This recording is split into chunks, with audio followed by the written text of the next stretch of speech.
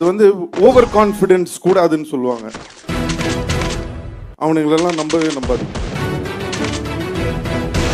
Over confidence இல்ல. Over over over confidence வேணும்டா.